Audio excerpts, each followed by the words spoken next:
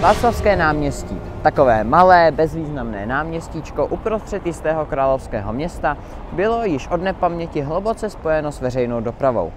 Ať už se bavíme o stávající tramvajové transitní tepně, či všech třech linkách pražského metra, ale v minulosti sem okrajově jezdily i trolejbusy.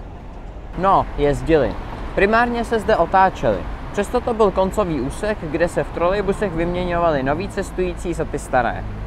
Když se na samotnou smyčku podíváme, byla velmi prostá.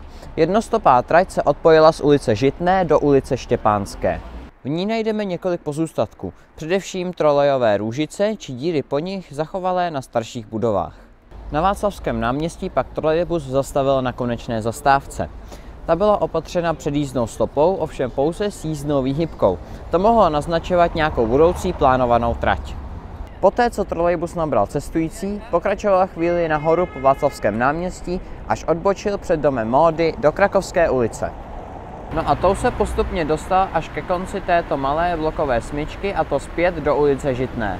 Ta tehdy ještě nebyla jednosměrná a tak si řidič dle linky vybral, zda pojede doleva a nahoru na náměstí Míru nebo doprava a dolu na Karlovo náměstí. No a směrem na Karlovo náměstí pokračovala trať dále na Anděl.